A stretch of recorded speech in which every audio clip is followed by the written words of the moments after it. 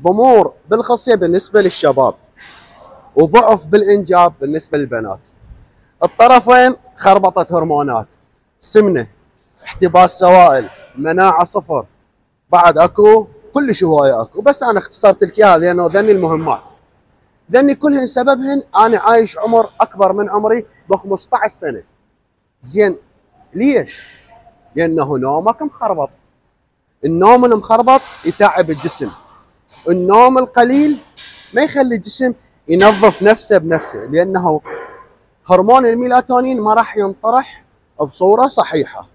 هذا ينطرح المادة الليلية تلقى العين تعطيه عاز ينطرح هرمون الميلاتونين نفس الوقت يرخيك ويخليك تنام وبنفس الوقت ينظف الجسم من السموم. أنت إذا ما تنام بصورة صحيحة وفوق الخمس ساعات جسمك ما راح يتنظف أبد نهائيا. زين محلولة هاي السالفة بالبداية؟ إي بالبدايه محلولة.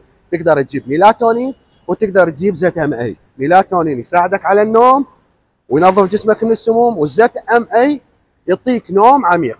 وشويه شوية تعود جسمك ولا تعيش عمر أكبر من عمرك ب 15 سنة لأنه جدا راح تنظر بالنسبة للشباب والبنات. ودائما أنا أقول لكم صحصح وياي وافيدك